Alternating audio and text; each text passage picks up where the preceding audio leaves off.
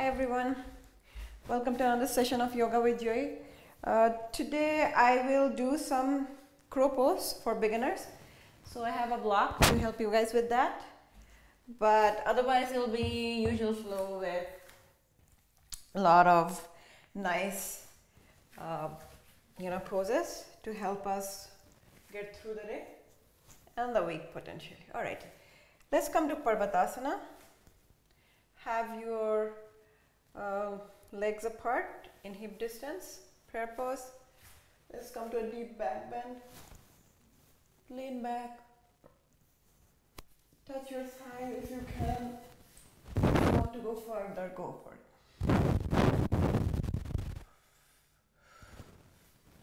Come back the same way. Sure, it's pretty taxing, I would say, to start with it, but a good stretch is good, especially if it's a back bend. Let's do a gentle back bend again. Now come to forward fold.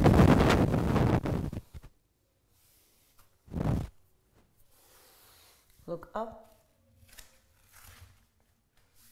Step or hop back. Up dog. Down dog.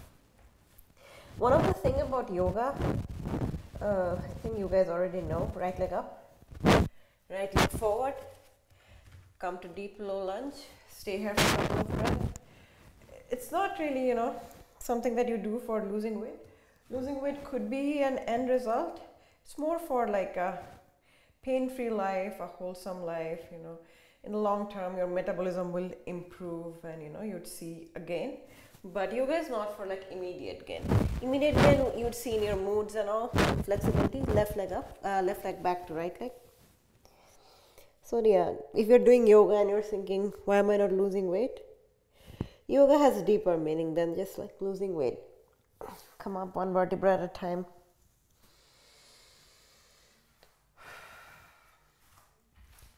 Let's do side stretches. You'd be surprised, yet so many celebrities, right side, like swear by it, and so many other fit people swear by it. Do uh, basically stretching your whole body, and then fold forward.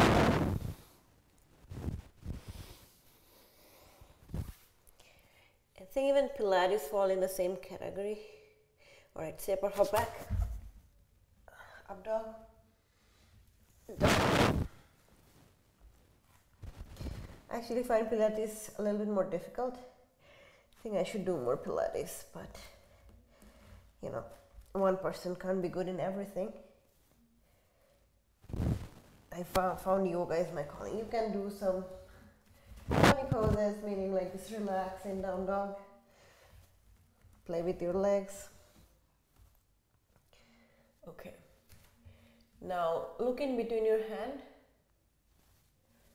You can hop or step forward to come to Utkatasana. We will focus on crow today, so we will we will go to side crow, but just not yet. Now let's try to bring our belly to touch the thigh and then come to a forward fold. Look up. Again, step or hop back. Bring yourself up. On a count of five, slowly go down. One, two, three, four, five. Up dog. Dog. All right, let's come to Malasan. So if you're in Malasan, I'm gonna try to get to crow pose. We'll do crow a couple of times today. Um, one of the way I recommend doing crow is you should try bringing your knees under your underarm. You see how my knees are actually on my underarm right now. So you know if you can't get the lift, use a block. I wouldn't say use a book, you know, like we don't want to step feet on book, but any sturdy box that can carry your weight. So this way maybe you can bring your knee on your underarm and then just rock here. Maybe you lift one leg, you lift the other leg. Look forward and just maybe lift both legs. Right? So the block is just to get that elevation if you feel you're not getting it. Let's practice one more time. One leg up, second leg up, maybe both leg up, right? What helps, what really helps is looking forward.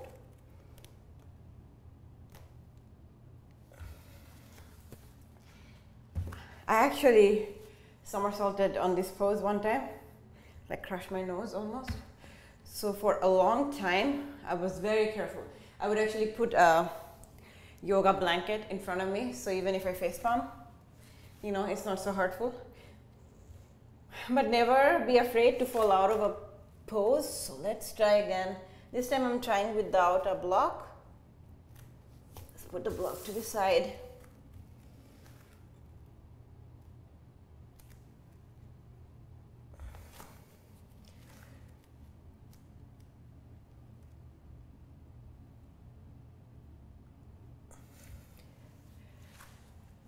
Let's try again. One leg at a time or just rock. So coming here, rock.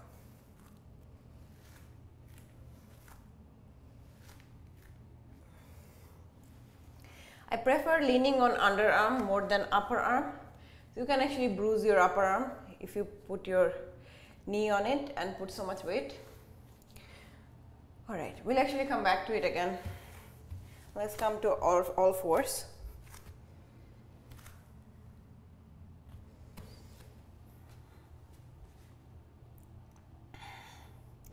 Breathe in, cat. Breathe out, cow. Breathe in, cat. Breathe out, cow. Cat, cow. Let's kick the sky today. So, this is good for your hips as well. If you want that jello butt, kick the sky. One, two, three, four, five, six, seven, eight, nine, ten. Come to neutral. Other side. One, two, three, four, five, six, seven, eight, nine, ten. Nice. Come to prep. Uh, child's pose. And I have been practicing particularly um, Pincha Mayurasana. So I try to squeeze that in every day a little bit. If you don't want to, you can just stay in dolphin. So you, with that introduction, you already know what I'm trying to do. I'm trying to come to dolphin. You can also come to down dog if you don't feel like you want to do dolphin. Everything is good here and then just rock your body. By rocking, if you notice, I'm trying to bring my torso perpendicular to the floor, right? So that creates a segue for you to do an inversion, right? Okay.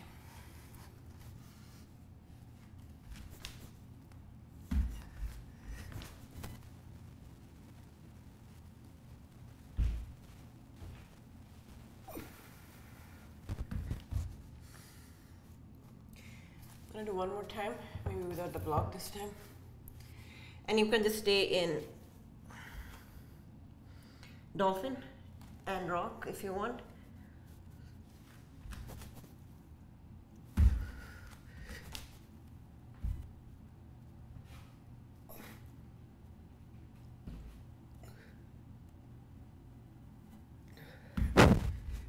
Nice. Come to child's pose. This holding dolphin is actually very advantageous, so do not discard the merit of dolphin.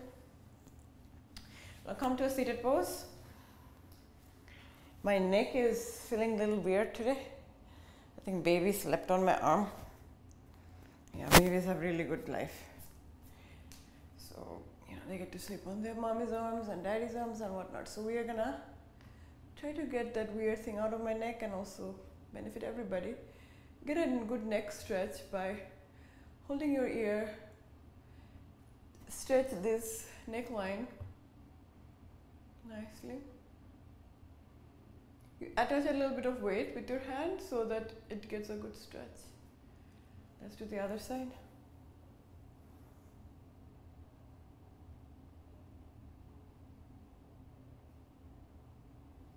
You other thing that's good for neck pain. So since we are here, let's do a little side stretch.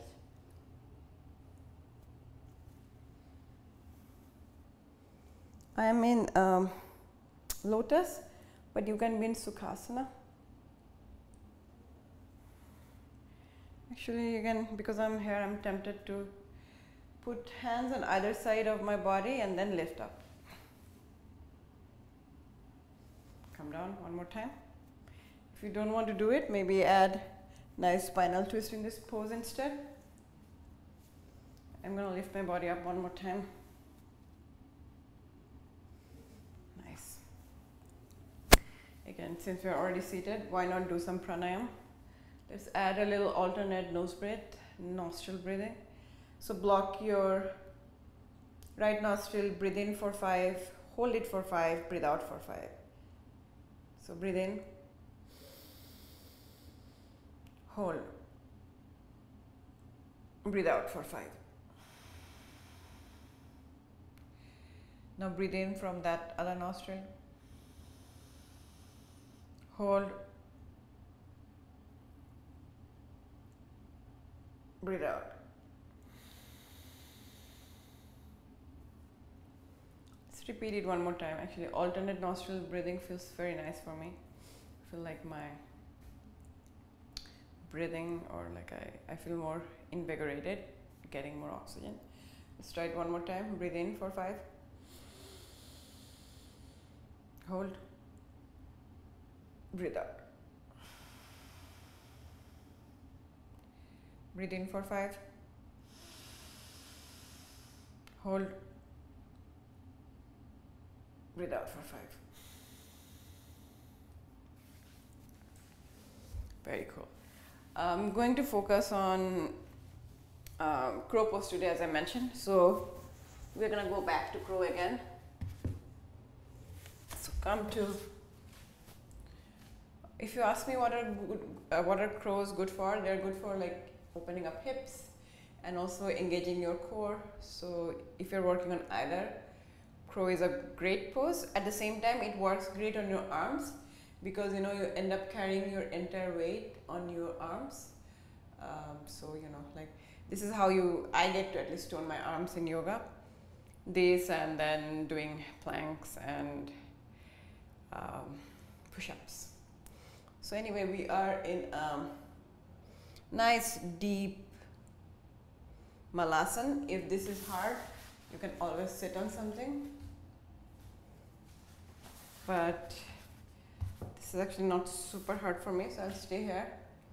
Again, for beginners, I was showing you can use a block to get that initial elevation to put your knees on underarms and then lift one leg at a time. You can also rock or you can lift both legs.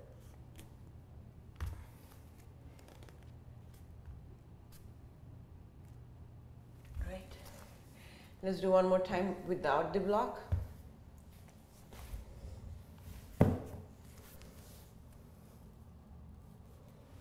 Again, you can just rock here back and forth lift one leg, lift the second leg. And one of the tricks to be able to find balance is looking forward. Instead of looking down, look forward.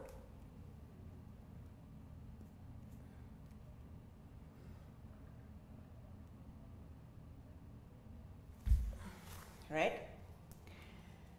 That felt amazing. Now we will implement some more crows. So as I promised, I'll do some side crows as well. Again, if crows is not your thing, don't let that stop you. You add other poses, say while I'm doing crow, you can do one more round of up dog, down dog flow. Or you can try just lifting one leg in crow. Now we're in down dog, right leg up, right leg forward. I'm gonna show coming to half moon pose with a block. Even if you're a advanced yogi, try that. Like the postures are really good if you actually use blocks and straps. That's actually the basic of Iyengar yoga where you use props to get to the perfect shape. The goal of Iyengar yoga come to a high lunge. Is not that you know everybody needs to have the same journey, but technically all of us could get to the perfect position with help of some prop. So I, I really enjoy Iyengar yoga. So yeah, we are in high lunge, warrior two, reverse warrior, side angle, from side angle, let's come to half moon.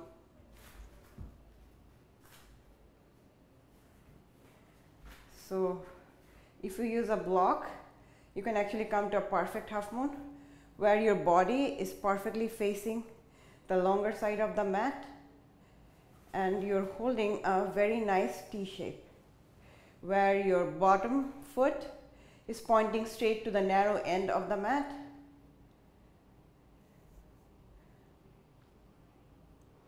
This is actually very nice. So even if you can keep balance, sometimes try with props. It could be more beneficial sometimes. So we are in Chapasan, holding our leg behind and then let's come to plank, down dog. Right leg up, right leg forward, high lunge, warrior two. Mm think I should have done left leg. So yeah, left leg forward, but yeah, you guys continue. Warrior two, reverse warrior, side angle.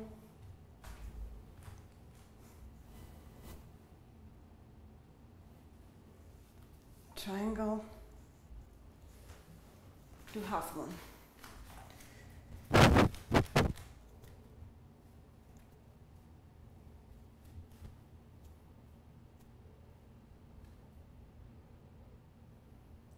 Yeah, with a block you can get a really good posture.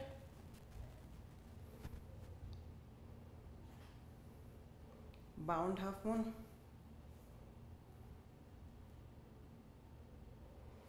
Back to plank. Down dog. One of my favorite flow nowadays has been to Vasisthasana and then transition to um, Ardha, Ardha or full Hanumanasana from there. So like it this way, but you can do one by one. So come to Vasisthasana however you want to, which is stacking your leg or getting support, anything goes. I actually like extending my leg because then I'll bring it straight to come to Hanumanasana. So you can come to Ardha, which is like this, and stay here. I feel like going for a full Hanumanasana, so I'll do that.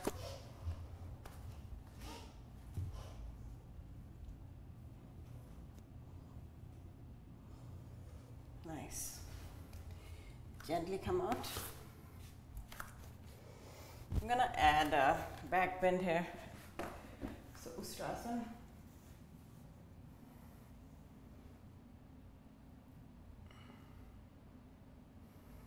This is also something actually recently I've learned that in Ustrasana you can target to touch your opposite leg but still keep the rotation very symmetric.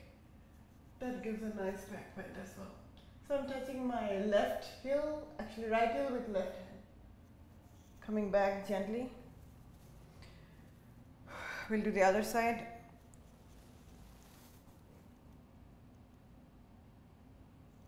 Even you can do none of them and just put your hand on your lower back and stay. Now coming to Vasisthasana on the other side. So I think I did this side, I'll do this side now. So come to Vasisthasana. However you want, again, stacking your leg, getting support, opening up in star, or holding your big toe, then stepping forward to come to either half Hanumanasana or full Hanumanasana.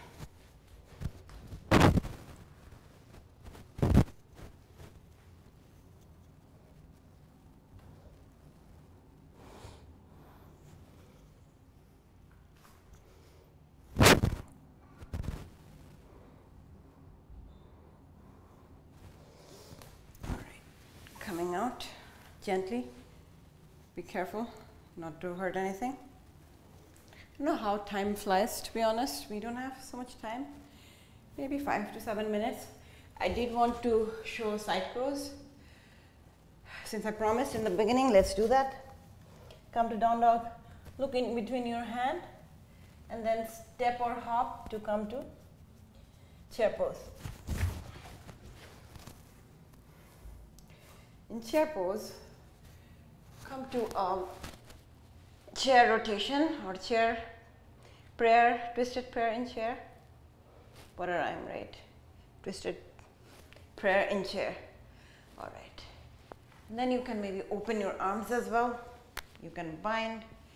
If all these are like, yeah, I can do all that, maybe you can sit with your legs closed and arms in chaturanga pose to try to. I don't know if you guys can see me properly. Probably you can. So my arms would be in chaturanga arms. I will be carrying my weight by my upper arm coming across my upper thigh off. If I'm facing right side, the right leg. What is the secret here? Is holding your core really tightly. Right? So coming back to neutral, actually I want to do the other side like left side. So coming to prayer side on this, you can open up, you can bind, and then um, if you did that, come to, I think I need to go this way. Uh, put your arms as if you're going to do push up. Your legs are glued together. Engage your core, make them really tight. And then lift up. One more time.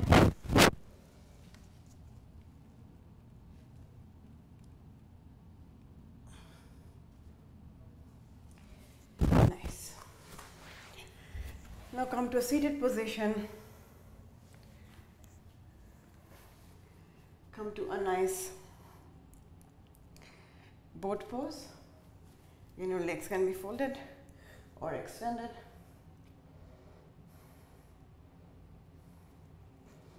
Then come to Baddha Konasana. Open your chest and recline to come to Supta Baddha Konasana.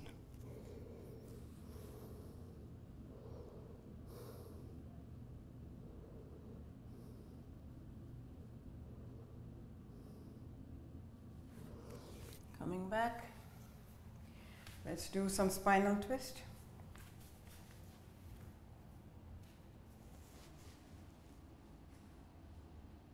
Look back. Come face forward. Spinal twist. Very nice. At least I feel very nice. I am hoping you guys feel good too. All right. Um, do we want to do? Maybe we want to do Marichyasana. So fold your one leg, hold it in a bind, and you can just stop here. If you have more room, come fold forward in Marichyasana. Come back up. Extend the other leg.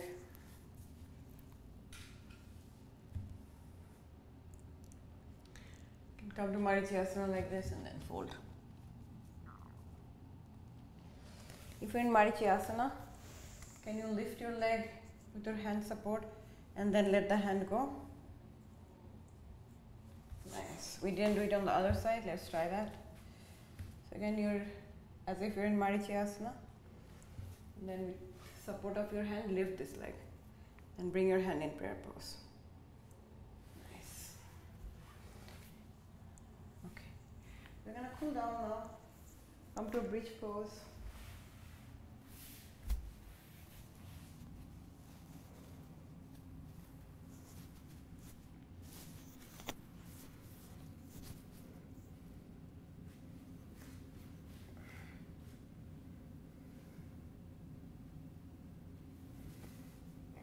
Back support um, or like supported bridge. Then extend one leg, extend the other leg, extend both legs.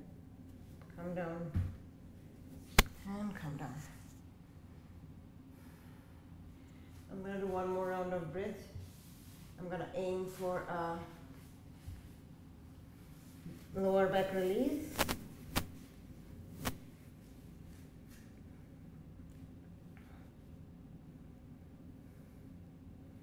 That is nice. This lower back release feels excellent. You can just hold either a bridge or full wheel.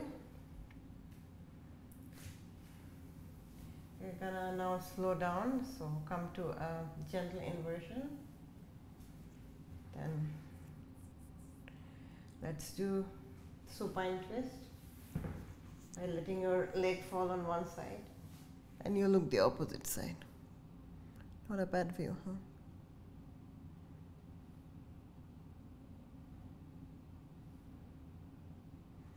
Coming back. Spinal, sorry, uh, supine rotation on the other side.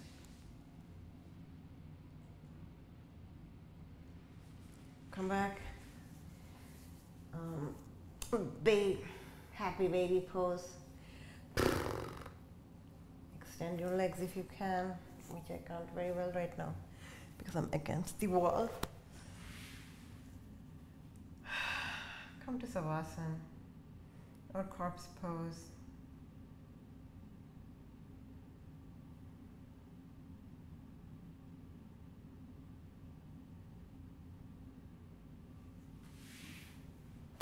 To your favorite side to be in fetal pose.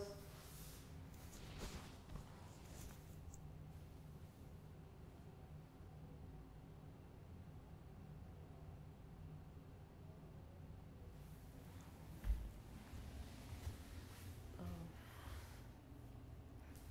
come to Sukhasana. Breathe in. Breathe out. I like closing my practice with Om, so I'll do that. Breathe in. Oh.